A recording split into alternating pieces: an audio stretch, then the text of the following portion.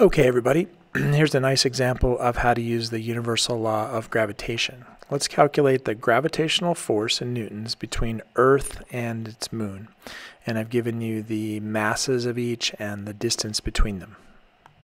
I think it's always a good plan to draw a little sketch of what's going on. So we'll draw Earth and its moon, and we'll draw the line between the centers of mass and we'll sketch in the mass of the Earth, which is 5.972 times 10 to the 24th kilograms. Mass of the Moon, 7.3 times 10 to the 22 kilograms.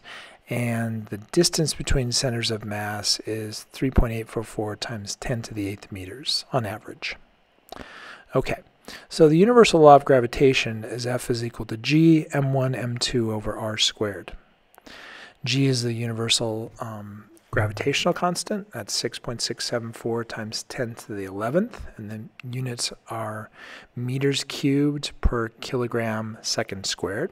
That's just to get the units right. And we'll plug in our two masses. So we're dealing with big numbers. And you want to make sure to use your calculator correctly. Um, don't type in, you know, times 10 to the caret 24, for example.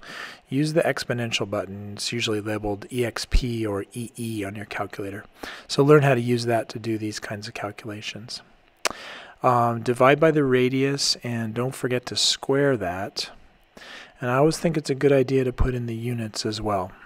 And then you can cancel the units. So for example, meters squared here is going to cancel uh, meters squared up top, kilograms cancel kilograms.